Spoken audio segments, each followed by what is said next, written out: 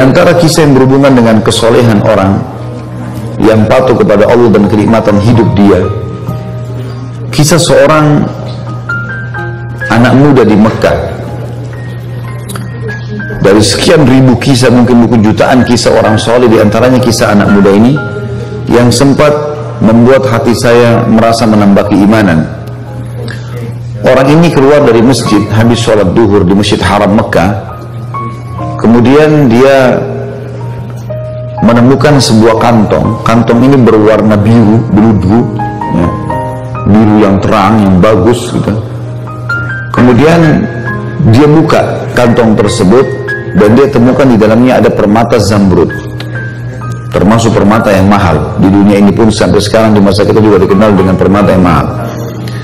Di dalam Islam Bapak Ibu sekalian kita kalau menemukan benda yang jatuh namanya luqata dalam bahasa Arabnya hukum syar'inya kita dianjurkan tidak menyentuhnya hukum syar'i Bapak Ibu temukan HP, temukan duit, temukan dompet, gak usah diganggu, biarin di tempatnya. Hukum syari'inya begitu. Karena bisa saja pada saat kita ambil, mungkin orangnya datang lima menit kemudian. Tapi kalau Bapak Ibu memang mau mengambilnya dan mau mengiklan, kalau mau mengambilnya syaratnya harus dia mengiklankan selama setahun. Kalau sudah setahun diiklankan tidak ada yang punya bisa jadi haknya dia. Tapi anak muda ini melihat di depan masjid haram ada kantong terjatuh diambil sama dia lalu dia naik ke atas sebuah batu dia iklankan.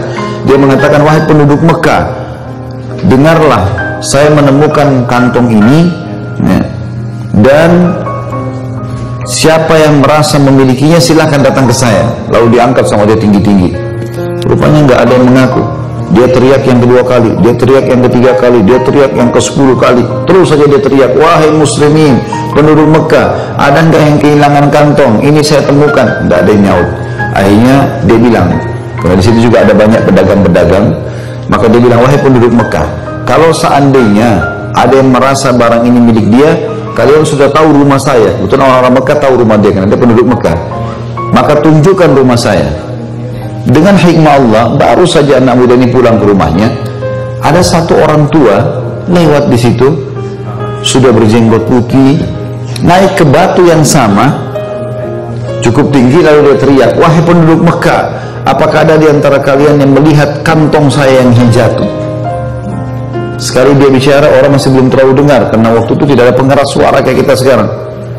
Dua kali, tiga kali, ada satu pengusaha di situ, ada pedagang yang datang mengatakan, Wahai kakek tua, tadi sebelum anda naik ke atas batu ini ada orang yang anak muda yang menemukan kantong, mungkin itu yang anda cari. Rumahnya di sana ditunjukin. Ringkas cerita kakek ini pun pergi ke sana dan kakek ini waktu mengiklankan siapa yang menemukan kantong saya, saya akan kasih sekian dinar. Ya. Kalau tidak salah itu 50 atau sekian banyak dinar ya. Jumlahnya cukup besar. Maka pada saat itu Bapak Ibu sekalian dia pun datang si kakeknya datang ke rumah si anak muda tadi. Setelah salam dia datang ke sana kemudian dia menawarkan uh, apa namanya menanyakan apakah memang kau temukan kantong dia bilang iya.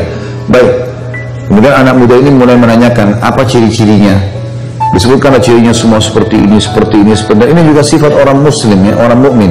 Dia tidak dia tidak boleh juga begitu orang mengaku main kasih saja perlu ditanya sama dia dipastikan supaya jangan ada kesalahpahaman. Setelah dia pastikan semua memang betul punya kakek ini maka dia pun memberikan. Dia pun memberikan kepada anak kakek tadi. Si kakek ini juga mengeluarkan uangnya tadi yang dia mau karena dia sudah janji mau kasih. Anak muda ini tolak enggak saya enggak mau. Saya tidak pernah mengembalikan dengan niat dibayar.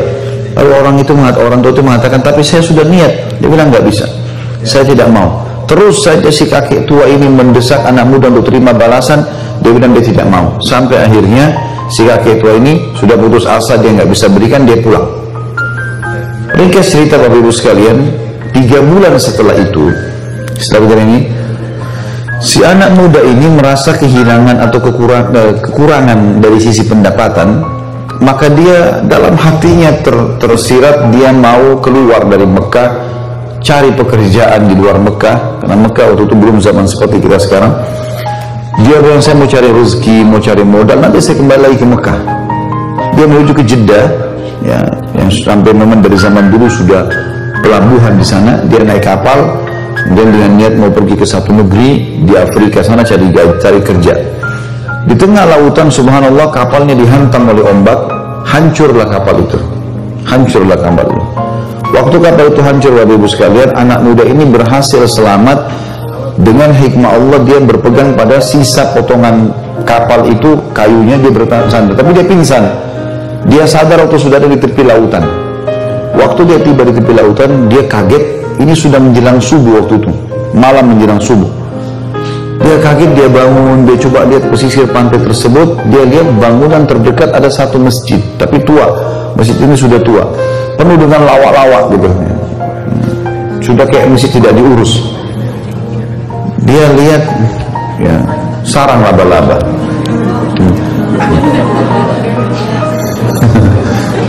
Baiklah.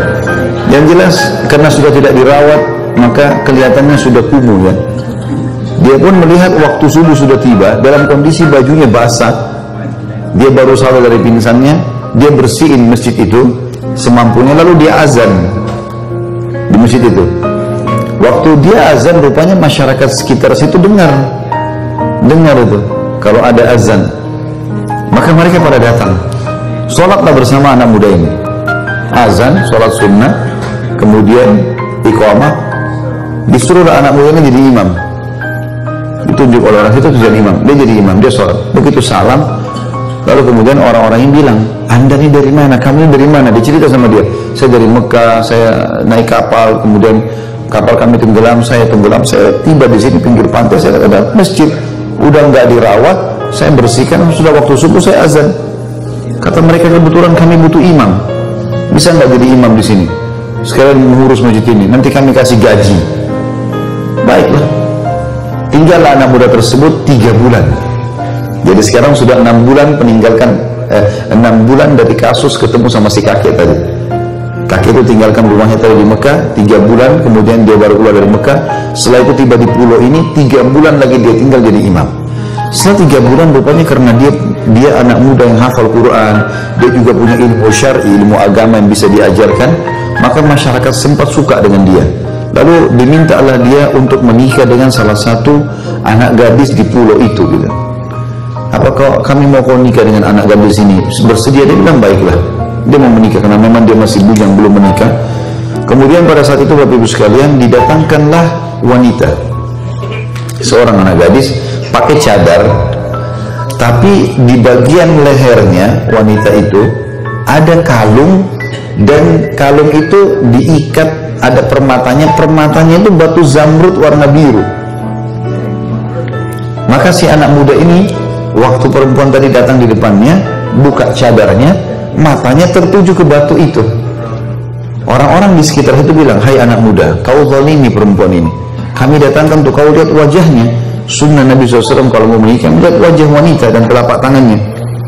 Tapi kenapa kau lihat per perhiasannya? Gitu ya. Maka kata anak muda ini, saya punya kisah dengan perhiasan ini, batu ini. Saya sangat yakin batu ini yang saya temukan enam bulan lalu di Mekah dan kisahnya saya temukan saya iklankan terus datang seorang kakek tua yang mengaku. Begitu dia bilang kakek tua tiba-tiba ya orang-orang di masjid itu mengatakan Allahu Akbar bertakbir semua. Kata anak muda kenapa kalian bertakbir? Kata mereka apa kau tahu siapa kakek tua yang kau temuin itu? Dan kisah yang kau sampaikan tentang batu permata betul permatanya ini dia. Kata anak mudanya tidak, saya tidak tahu. Kata mereka itu adalah ayahnya anak perempuan ini. Ayahnya anak perempuan ini. Semenjak dia pulang ke pulau ini, tiga bulan lalu, gitu kan? Eh, enam bulan lalu dia pulang ke pulau ini, dia bilang, dia selalu cerita tentang kamu.